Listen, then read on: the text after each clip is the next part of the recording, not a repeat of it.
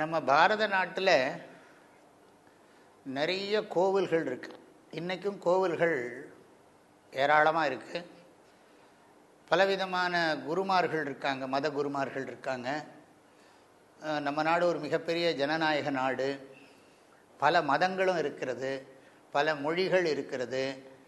இதெல்லாம் இருந்தாலும் மக்கள் வந்து பெரும்பாலும் எந்த மதத்தை சேர்ந்தவங்களாக இருந்தாலும் அவங்கவுங்களுக்கு அவங்களுக்கு ஒரு கடவுள் வழிபாடு அப்படிங்கிறது பொதுவாக பக்தியெல்லாம் இருக்குது ஆனால் நம்ம எதை செஞ்சாலும் இப்போ அதுக்கு ஏன் அவங்களுக்கு வந்து இந்து மதத்தில் ஒரு விழிப்புணர்வு இல்லை அப்படிங்கிறது ஒரு முக்கியமான கேள்வி.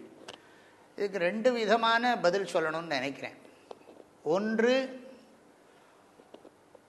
ஒரு பெரிய அமைப்பு அறிவுபூர்வமாக ஹிந்து மதத்தை நல்ல முறையில் எல்லாருக்கும் சொல்லணும். இப்போ பல மடங்கள் பல இதெல்லாம் இருந்தால் கூட ஒரு சிஸ்டமேட்டிக் ஸ்ட்ரக்சரல் டீச்சிங் இப்போ வந்து இது அரசாங்கத்தில் எப்படி வந்து வந்து உலகியல் கல்வி இந்த ஃபிசிக்ஸு கெமிஸ்ட்ரி ஜுவாலஜி இந்த அறிவியல் இதெல்லாம் படிக்கிறாங்களோ அது மாதிரி இதுவும் முறைப்படி படிக்கணும். இது வந்து தேவைன்னு தெரியணும். இது வந்து எல்லா இடத்துலையும் இந்துக்களுக்கு நமக்குள்ள எத்தனை நம்மளுடைய வேதங்களுடைய மைய கருத்து என்ன புராணங்களுடைய மைய கருத்து என்ன இதில் இருக்கக்கூடிய சந்தேகங்கள் என்ன? அதை எப்படி நாம் தீர்த்துக்கணும்? எப்படி இதை பற்றி நம்ம பேசலாமா? இப்போது பிற மதங்களை பற்றி ரொம்ப பெருசாக பேசினா அவங்க அதுக்கு எதிர்ப்பு ரொம்ப தெரிவிக்கிறாங்க. நம்ம மதத்தில் வந்து இது இந்த இந்த நியூட்ரலைஸ்டும்பாங்க இதுவும் இல்லை அதுவும் இல்லை அப்படியும் இல்லை இப்படியும் இல்லைன்னு இருக்கிறவங்க. அவங்க வந்து எல்லாருக்குமே பொதுவாகவே ஒரு பயந்த சுபாவம் இவங்களுக்கு இருக்குது எல்லாருக்கும்.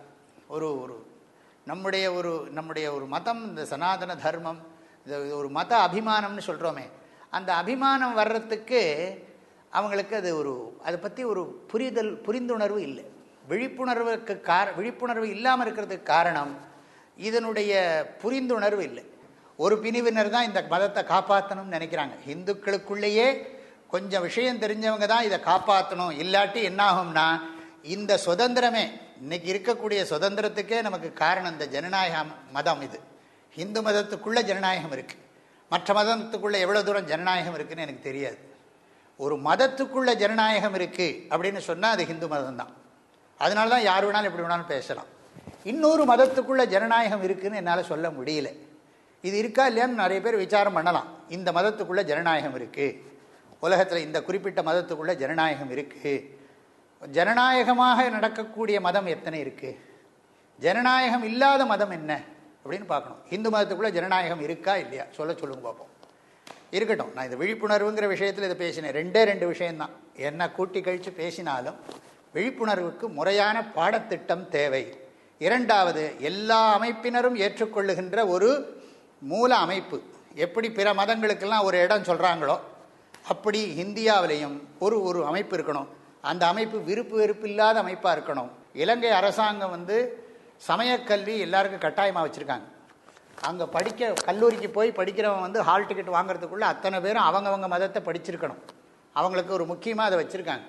அதாவது இந்துக்கள் பௌத்தர்கள் அவங்க இஸ்லாமியர்கள் கிறிஸ்தவர்கள் யாராக இருந்தாலும் சரி அவங்கவங்க மதத்தை பற்றி அவங்கவங்க தெளிவாக தெரிஞ்சிருக்கணும். எல்லா மதத்துக்குள்ளேயும் உண்மையிலேயே ஜனநாயகம் வேணும். எந்த மனிதனுக்கு மதத்துக்குள்ளே இருக்கிறவனுக்கு மத சுதந்திரம் இல்லைன்னு சொன்னால் சுதந்திரத்துக்குள்ளே கட்டுப்பாடு கட்டுப்பாட்டுக்குள்ளே சுதந்திரம். எப்படி ஒரு சங்கீதம் பாடணும்னா அதுக்கு ஒரு முறை இருக்குது அதுக்குள்ளே எப்படி வேணாலும் கற்பனை பண்ணலாம். அப்படிப்பட்ட ஒரு அமைப்பு தான் வரணும். அது வந்து அரசாங்கம் கண்டிப்பாக இதுக்கு ஆதரவு கொடுத்து அரசாங்கத்தினுடைய ஆதரவு இல்லாமல் ஒரு பெரிய அமைப்பை உருவாக்கிட முடியாது. அரசாங்கத்தினுடைய ஆதரவோடு இருக்கணும். அரசாங்கமே இதுக்கு ஏற்பாடு பண்ணணும். இந்த மதங்களுக்கெல்லாம் இப்படிப்பட்ட ஒரு போர்டு ஏற்பாடு பண்ணுறோம் அவங்க எந்த மதமாக இருக்கட்டும் இந்த மாதிரி ஒரு போர்டு தீர்மானம். இந்த போர்டு தீர்மானம் பண்ணுறது தான் இது அப்படி சொல்லி கொண்டு வரணும்.